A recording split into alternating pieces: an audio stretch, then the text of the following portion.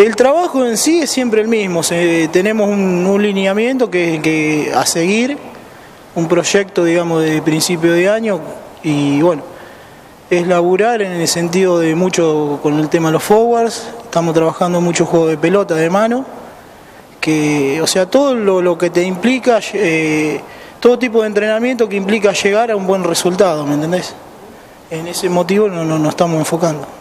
Bueno, eh, en principio los objetivos son claramente seguir, eh, digamos, trabajando en equipo con el entrenamiento que nos está dando Valentín, que la verdad estamos yo de parte como jugador, digamos, muy conformes. Eh, se está reflejando de a poco en la cancha ese entrenamiento. Creo que nos está yendo bien, pero bueno, falta que nos afiancemos nosotros mismos al entrenamiento del entrenador.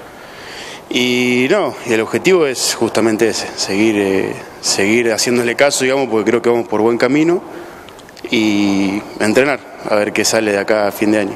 ¿Es muy exigente este tipo de entrenamiento? ¿Hay que cuidarse con las comidas? En realidad sí, eh, a ver, es muy personal. En cualquier deporte uno si no se cuida no, logra el 100% de uno mismo. Pero no, yo creo que vamos bien, vamos como equipo, digamos, contrarrestando los entrenamientos, entre nosotros ayudándonos un poco como para eh, hacer una buena alimentación, una buena jornada de gimnasio y demás. Cuestión de resultados, sí, totalmente conforme, tanto con los resultados como con el trabajo que vienen haciendo los chicos, ¿viste?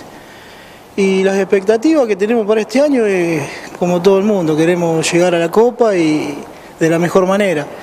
Y tratar de no llegar con ningún jugador lesionado, que es medio complicado, ¿viste? Hay muchas lesiones, pero bueno, eh, va en el trabajo de cada uno, en el cuidado, en el entrenamiento, Así que bueno, y en la suerte, obvio. Podés tener mejor entrenamiento, mejor cuidado, pero un golpe te, te puede privar de medio campeonato, de un partido, dos. Y muchas gracias a ustedes por el espacio y agradecer a todos los sponsors que están ayudando a que podamos progresar.